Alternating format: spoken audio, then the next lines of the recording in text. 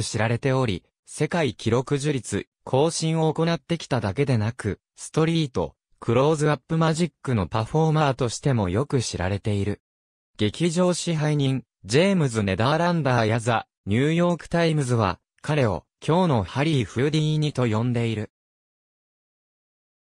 また、ニューヨーク・デイリー・ニューズからも、ハリー・フーディーニに近いものと呼ばれている。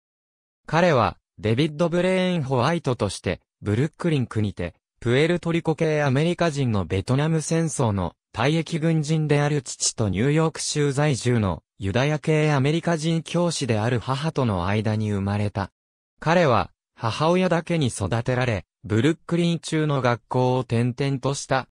10歳の時、母親が再婚し、ニュージャージー州リトルフォールズに引っ越し、そこでブレインは EN パサイクバレーリージョナルハイスクールに通った。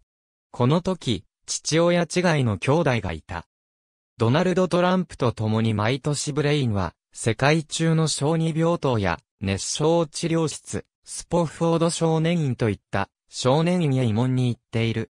また、ポール・ニューマンが主催した難病の子供たちのためのサマーキャンプホールインウォールギャングキャンプで手品を披露したこともあった。2010年1月15日午前9時から2010年1月18日午前9時までの72時間、ブレインはタイムズスクエアでハイチ大地震のためのチャリティマジックマジックフォーハイチを開催し、10万ドルを集め寄付した。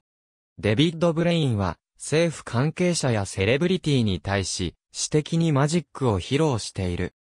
米国内では、第42代米国大統領ビル・クリントン、現国務長官、ヒラリー・クリントン、第43代米国大統領ジョージ・ W・ ブッシュ、元国防長官、ドナルド・ラムズフェルド、元カリフォルニア州知事、アノルド・シュワルツネガー、第56代米国国務長官ヘンリー・キッシンジャー、ニューヨーク市長、マイケル・ブルームバーグ、実業家ビル、ゲーツなどの前でマジックを披露した。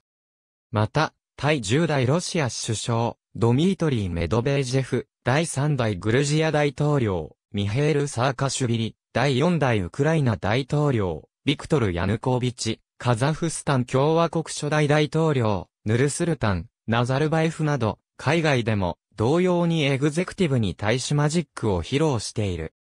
また、ブレインは、Google 創立者のセルゲイ・ブリンとラリー・ページ、映画監督、ウディアレン、俳優ジャック・ニコルソン、ロバート・デ・ニーロ、アルパチーノ、元ボクサーモハメド・アリなどの著名人の前でも、たびたびマジックを披露している。さらに、ブレインは、スーパーボールのハーフタイムショーにて、マイケル・ジャクソンの隣でマジックを披露しており、私生活で、マイケルと仲が良かった。ありがとうございます。